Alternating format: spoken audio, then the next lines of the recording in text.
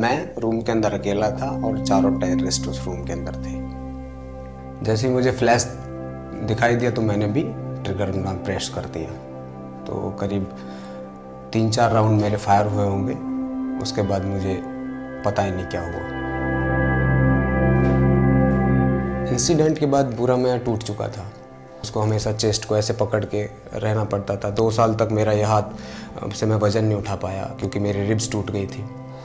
कुछ इस इंसिडेंट इस तरह के हुए मेरी लाइफ में जिन्होंने मुझे मेरी जो स्ट्रेंथ थी, जो इनर स्ट्रेंथ थी, वो उसके बारे में मुझे उनसे पता चला कि still I am a commando मैंने कुछ नहीं सोचा।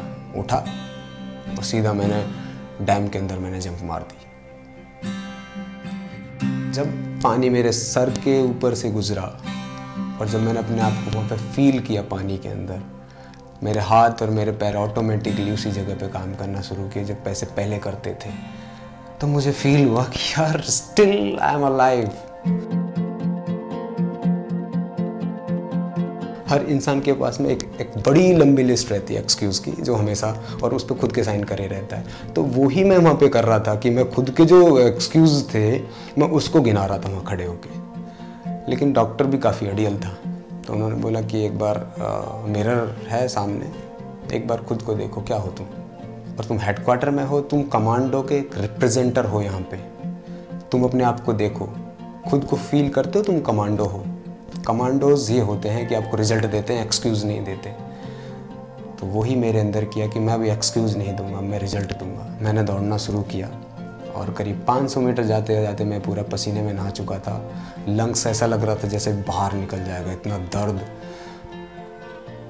है दर्द। वहीं बैठ गया। क्या है? थोड़ी देर बाद खड़ा हुआ वॉक करते हुए वापस आया। इसी कसमकस में रहा कि, यार, इतना दर्द मैं रनिंग करूँगा कैसे?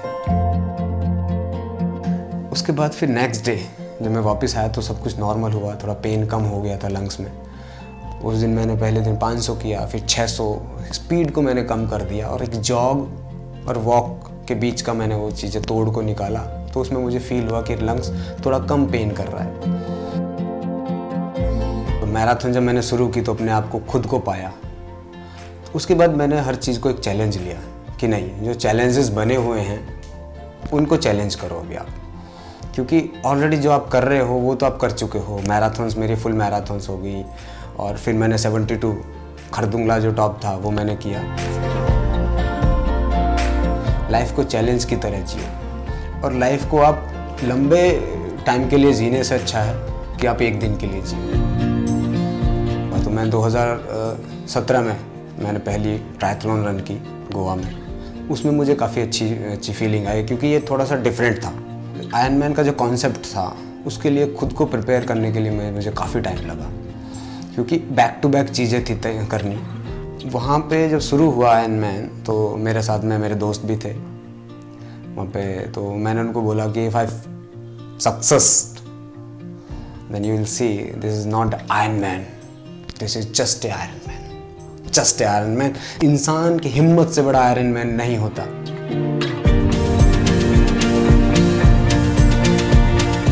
People are not going to judge you how you are starting but everybody is looking on you how you are going to finish so आप 42 को रजिस्टर करें स्टार्ट लाइन पर खड़े हो जाएँ और जो आपके अंदर अंदर चीज़ें हैं उसको बाहर निकालें तो आप पाओगे कि स्टार्टिंग और फिनिशिंग लाइन एक ही है